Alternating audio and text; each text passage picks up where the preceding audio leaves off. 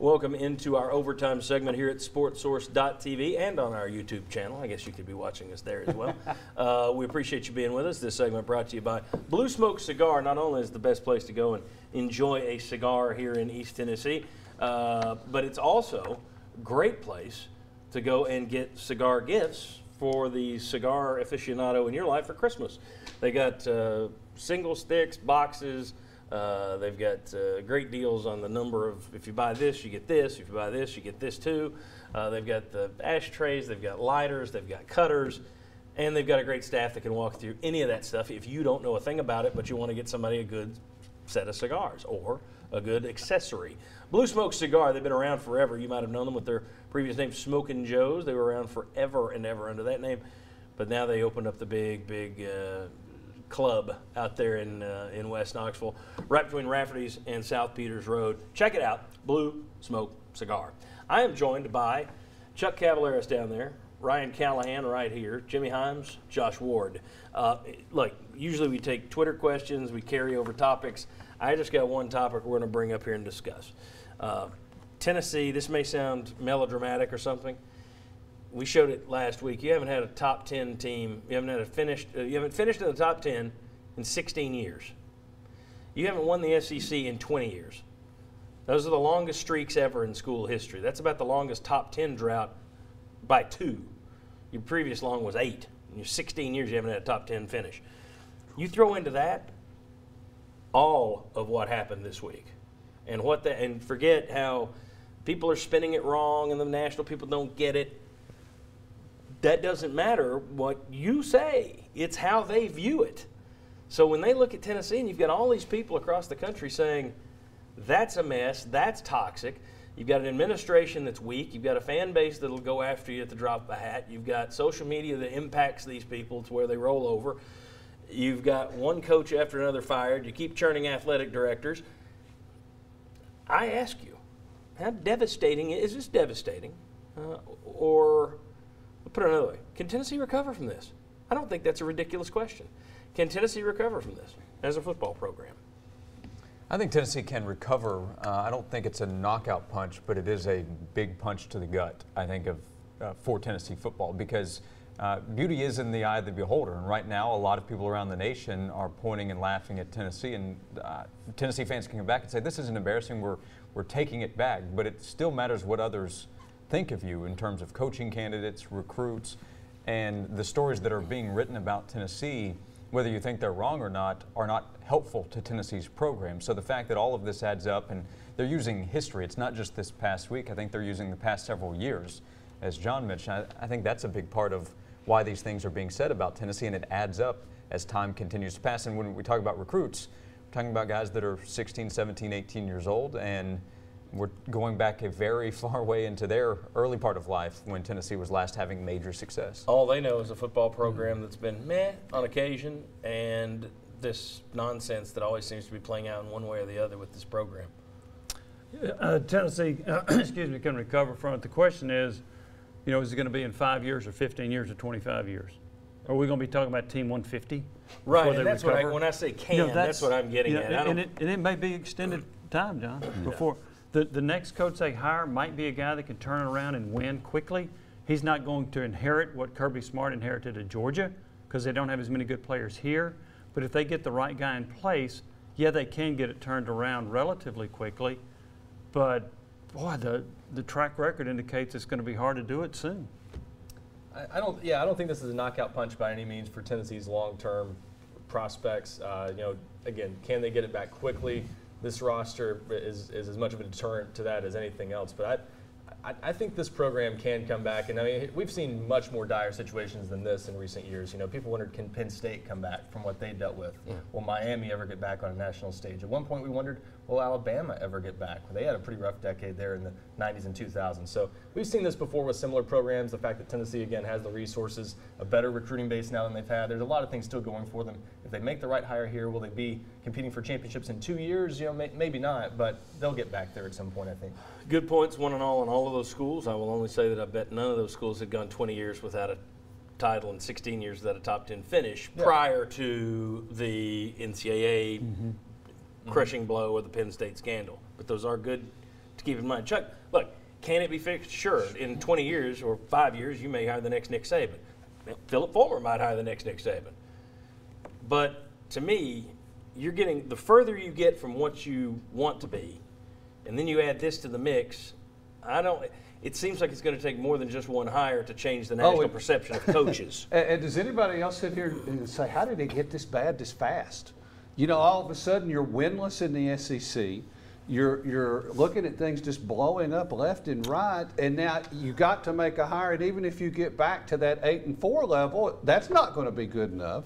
So then you're just looking at churning this all over again in three to five years. So, I mean, I, I think it just shows how crucial the decisions are that are going to be made next. It's, an, it's another great point in terms of how fast this all went south. Not you know, two weeks ago we were talking about how football went south. Okay, you were five and zero, or you six and zero last year. You hit five and zero Five and oh. two yeah. years ago. Uh, last year, still to me, 2016, five and zero. You're ranked in the top ten, and now you've not only fired that coach and that staff, you've blown up an athletic director. And something that could go on longer than that is all of this struggle between boosters behind the scenes. Who's running the show? How much money are they kicking in? Are you going to have the money you've had in the past? That's that's amazing. That's an amazing nosedive from where you were. It is. Um, there, I have always said when people have told me, "Well, we're never going to get it back," I always point out, look, in in the modern history of college football, there has only been one program that was a national title contender winner that just fell off and never came back. That was the University of Minnesota. You can go check their history. Modern football, they were up there.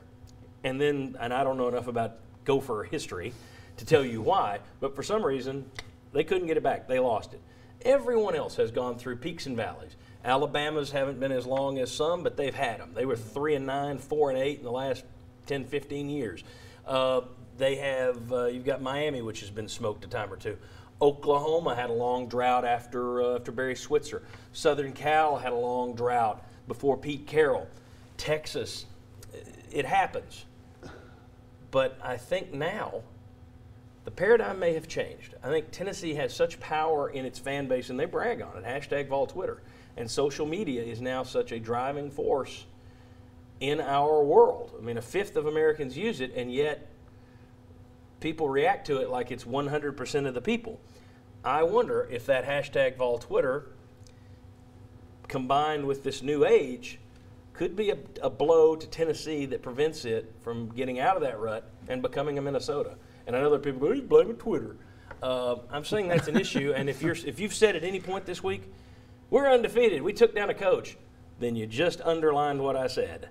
You agree with me. You may not like it, but if you're talking about how great you are on Twitter, okay, you're just backing me up in what I'm saying.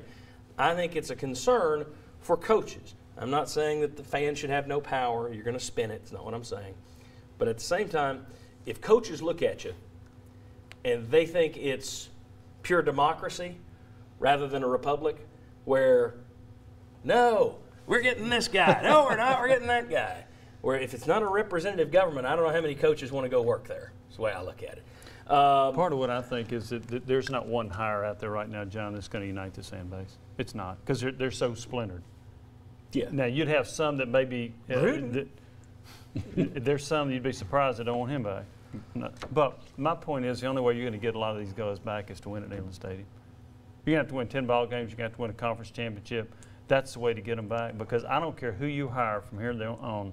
Somebody there there'll be a higher percentage of Tennessee fans that just won't like it because it's not my guy. Because there's so much, even when you get to that point, there's so much, you, you got to get over the parity. Look at how many SEC programs, especially in your division, you have to climb over now to get back to the top. It's not like you've got two or three that are down and two or three that are doing okay. I mean, you've got some of these programs in your own division are looking about as good as they have for a long time. But here's the thing, even if you find the right coach, right? Let's say you get the right football coach, you win 10 games. Does this Davenport stuff, does that stop swirling? Is that, I mean, what about the Anderson, Haslam, Ergen? What about that stuff? How does that, di- see, I don't know that 10 wins even answers that. To me, that's why it's more troublesome right now, is it's not just, well, we got to win ball games. That's part of it, but you Don't just, you also wonder what is the next story that causes Yes. mass hysteria Well, in yes. Knoxville? Because we just we just anticipate whatever is going to be next that ends up becoming a problem for UT. I think the more games you win, the less hysteria there is. Okay. Well, that's true, and, and, and, and that's, I- that's probably part of the other issue is that you could you could even introduce a coach this upcoming week. You could, you could bring in Les Miles as the head coach and Tee Martin as the offensive coordinator and talk about getting Tennessee back to where it is in championships. And in the short term, I think that would make fans feel better. And then if you go six and six or seven and five next year, and then in 2019, if you've lost at home to Georgia by three touchdowns, because Georgia's in pretty good shape, that's that's why winning still has to happen, and it's difficult to point to anything in the immediate future that says Tennessee's going to win where fans expect Tennessee to win. Ryan, that's one reason I see this in, this higher. Now we're looking at it in terms of Mack Brown or Les Miles, and I think most people would say that's a stability hire. Correct? That's kind of a tourniquet. I don't think anyone would look at that now. They somebody a like that. stability AD. Somebody, yes, somebody. There you go. Somebody may may come in here, win three national titles. Maybe the hat has his second wind if he gets the job. Okay, possible. But I think most people would look at that and say, okay, you're, that's a tourniquet hire. You're trying to stop the bleeding, stabilize everything. Ryan, it's been 20 years since you won.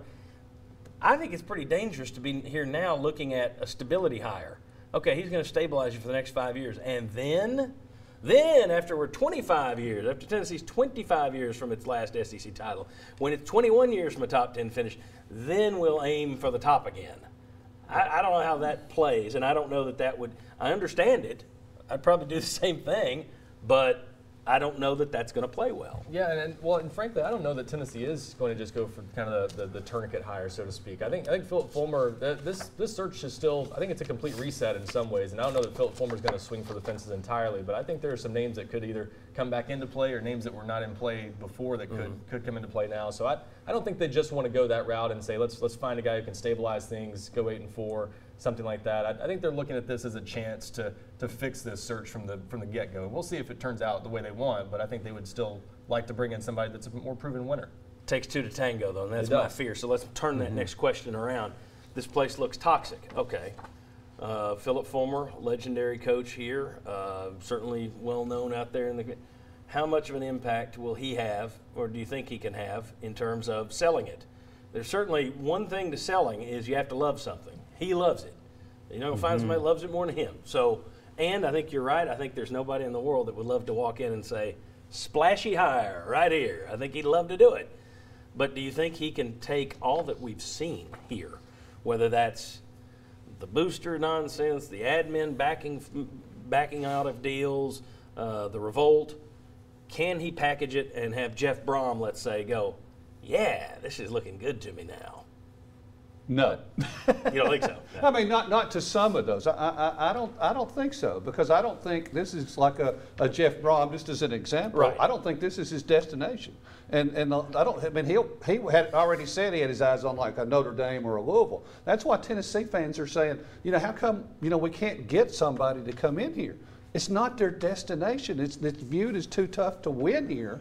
And so even if you if you get somebody else, what if they're just here a year or two and another job opens up and you're back to square one? So you've got like Fulmer's. I think it's really important that somebody that wants to be here and is going to commit to the long haul because that's there's been so much turnover. That's one of the big problems over there. You've got to have somebody who can do the job and will be here to stay and wants to be at Tennessee. The hard thing is to find a long haul. Because I think Les Miles would come, and I think Mack Brown would come. I don't know if David Cutcliffe would. I think Kevin Steele would come. Those three. They're all 59 or older. Now, you're going to get five years out of them, seven years out of them. I don't know. Seven's probably about the max, I would think. Yeah.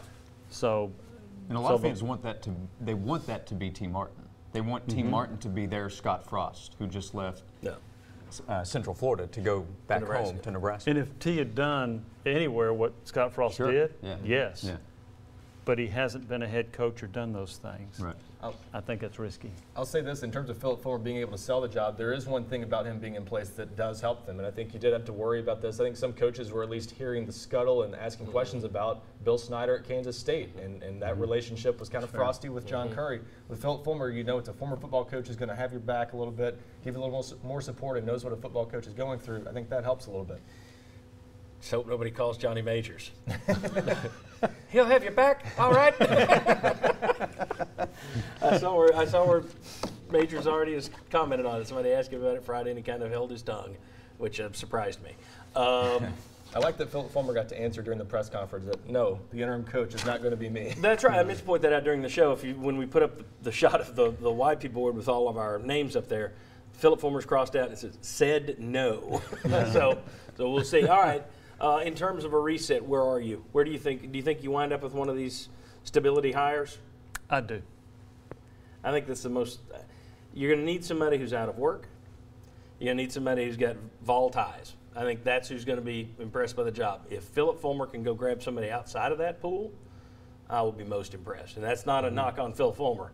I think he's having to sell crap right now. I think so many people were wondering how come Les Miles hadn't gotten a call and how come Tee Martin at least had not been contacted. It was just a courtesy call. even if you're just waiting in the airport, even whatever it is, why didn't they at least not get a call? And I think right now, Les Miles, and I've said this for a week or so now, is looking better and better. And thank God the coach from NC State did not take this job. Where would we be right now if he had?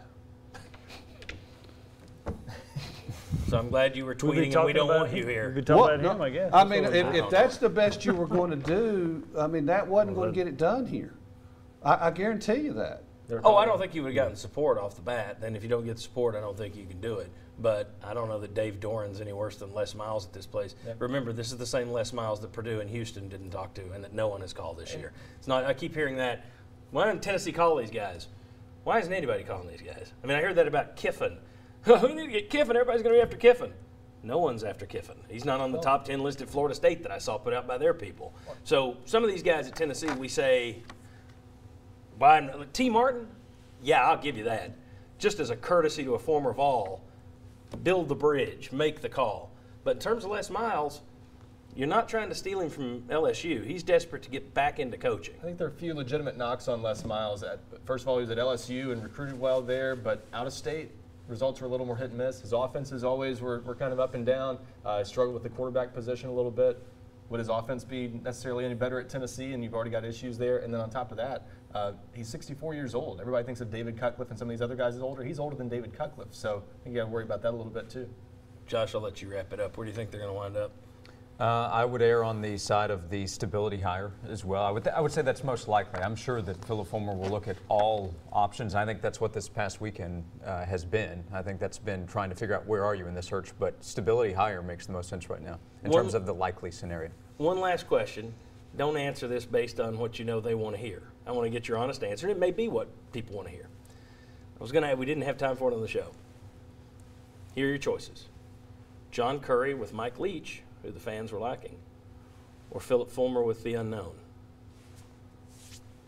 If you could go back and you, you had Mike Leach and the administration said, you know what, let's do it. You bring Mike Leach in because the fan base doesn't mean he's going to win, but the fan base was all excited about the pirate thing.